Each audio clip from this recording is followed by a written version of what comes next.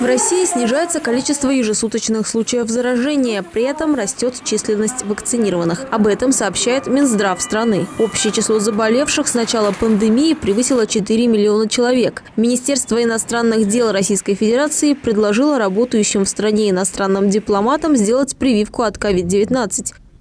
Вакцинация населения продолжается во многих странах. В Южной Америке по иммунизации лидирует Чили с 18-миллионным населением. Процедуру уже прошли 2 миллиона человек. В одном только Сантьяго имеется 120 пунктов, где можно сделать прививку. Один из таких открылся на стоянке национального стадиона.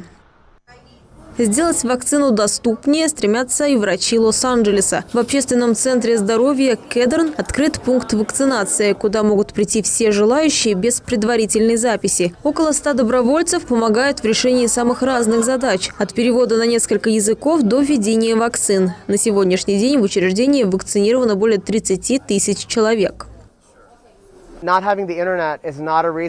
Отсутствие интернета, электронной почты, телефона, документов, отсутствие зрения, слуха или незнания английского – все это не является причиной для отказа от вакцины. Тем временем Евросоюз намерен удвоить свой взнос в программу COVAX по обеспечению доступа к вакцине населению бедных стран до 1 миллиарда евро, а также выделить еще 100 миллионов евро на поддержку борьбы с вирусом в Африке. Медина Курбанова, CBC.